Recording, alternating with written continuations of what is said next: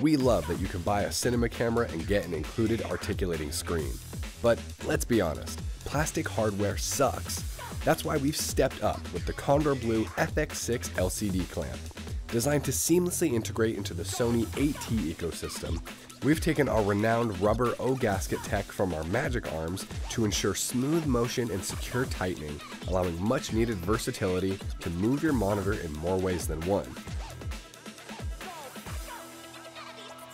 Making sure it's as comfortable as possible while having more than enough strength to hold your FX9 loupe without snagging or slipping. For a sleeker setup, you can forego the NATO extension and attach the clamp directly onto your FX6 rod, keeping your rig compact and efficient. Another great improvement to another amazing camera by Kondor Blue.